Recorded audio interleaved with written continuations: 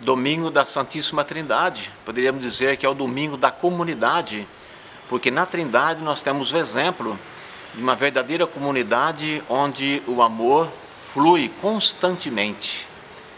Na festa da Santíssima Trindade, contemplamos o nosso Deus, que é Pai, que é Filho Espírito Santo.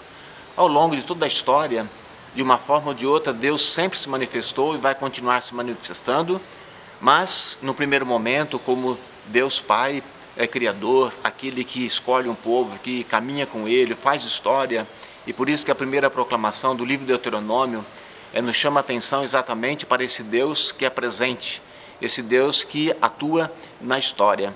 Por outro lado, nós percebemos também o apóstolo Paulo escrevendo na sua carta aos Romanos que o Espírito de Deus se une ao nosso espírito e aí nós podemos chamar a Deus é de Pai e Ele nos faz seus filhos e filhas. E que bom sentirmos que somos filhos e filhas de Deus.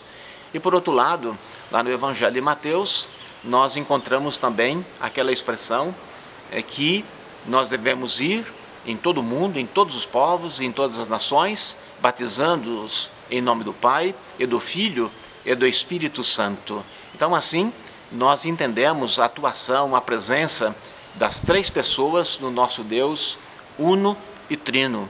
E por isso que praticamente em todas as celebrações, em todos os momentos da nossa oração, nós sempre iniciamos saudando a Santíssima Trindade, fazendo o sinal da cruz, que é em nome do Pai, em nome do Filho, em nome do Espírito Santo.